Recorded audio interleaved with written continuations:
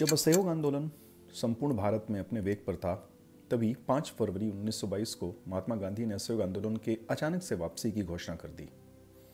यदि हम इसकी पृष्ठभूमि में जाएँ तो हम देखेंगे कि 4 फरवरी 1922 को सत्याग्रही को एक दल ने पुलिस थाने को आग लगा दी थी, जिसमें 22 पुलिस वाले ज़िंदा जल गए थे। गांधी जी इस घटना से बड़े शुभ हुए थे और उन्होंने असहयोग आंदोलन के वापसी की घोषणा कर दी थी। इसके क्या कारण थे? इस पर हम लोग थोड़ी देर बाद चर्चा करेंगे। पहले हम इसकी पृष्ठभूमि में जाते हैं। दो फरवरी उन्नीस को विरोध प्रदर्शन कर रहे प्रदर्शनकारी जो असहयोग आंदोलन में अपनी भागीदारी सुनिश्चित कर रहे थे, वे कुछ स्थानीय मुद्दों को लेकर के भी विरोध प्रदर्शन कर रहे थे, जिसमें एक मुद्दा शराबबंदी का था और दूसरा अनाज की आसमान छूती कीमतों को नियंत्रण में लाने का था। भीड़ को नियंत्रित करने के लिए पुलिस वहाँ पहुँचती है। और भीड़ और पुलिस में कुछ कहासुनी भी होती है, कुछ तकरार भी होती है।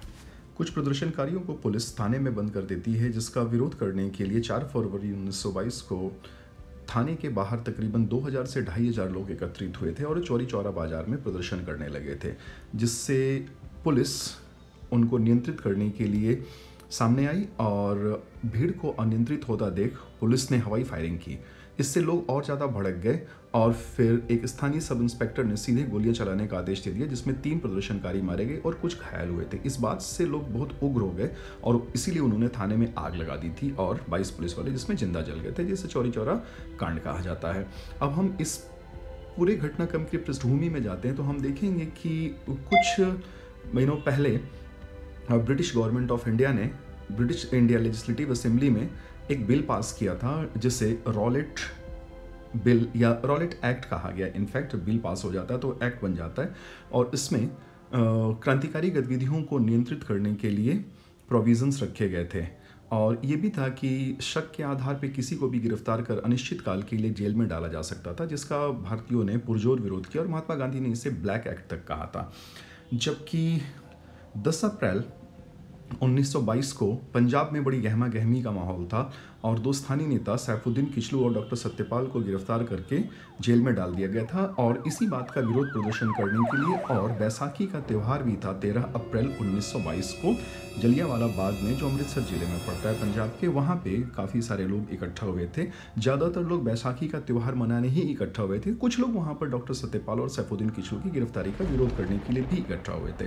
तभी पुलिस वहाँ पहुँचती है और ब्रिगेडियर जनरल रैंक का अधिकारी अपने पुलिस वालों के साथ वहाँ पहुँचता है और निहत्थे निर्दोष लोगों पर गोलियाँ चलाने का आदेश आदेश दे देता है।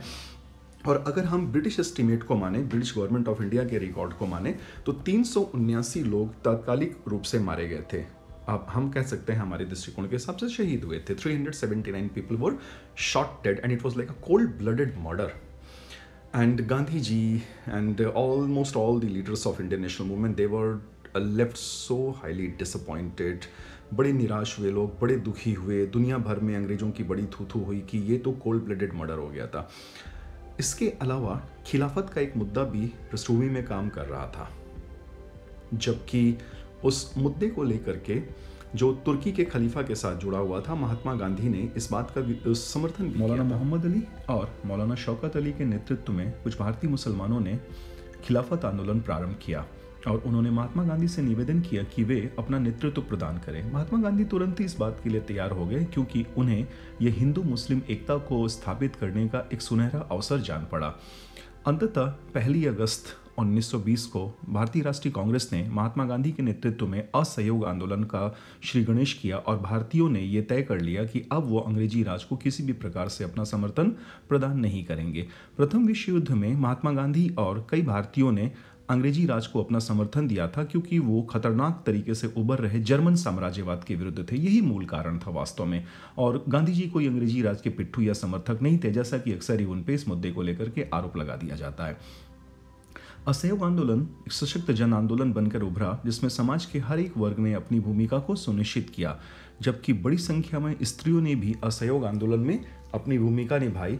प्रत्यक्ष या परोक्ष रूप से कुछ ने प्रत्यक्ष भागीदारी की और कुछ स्त्रियों ने अपने गहने ज्वेलरीज पैसे दान करके, कोष में जमा करके इस आंदोलन को आगे बढ़ाने का कार्य किया। अब आपको कमेंट बॉक्स में जाकर के ये बताना है कि महात्मा गांधी के द्वारा असहयोग आंदोलन को वापस लिए जाने का निर्णय कितना सही था? और अगर सही था तो क्यों? लॉजिकल और रेशनल साइंटिफिक एक्सप्लेनेशन दीजिएगा। कि किसी भी तरीके का अननेसेसरी आरोप प्रत्यारोप से बचिएगा, क्योंकि आप राष्ट्रपिता के बारे में बात कर रहे हैं, एक महात्मा के बारे में बात कर रहे हैं, जिन्होंने भारतीय राष्ट्रीय आंदोलन को एक अत्यधिक महत्वपूर्ण दिशा प्रदान की थी। अगले वीडियो में हम लोग कुछ अन्य महत्वपूर्ण विषयों पर इसी प्रकार से चर्चा कर रहे होंगे। तब तक के लिए धन्यवाद। Thanks so much thanks a lot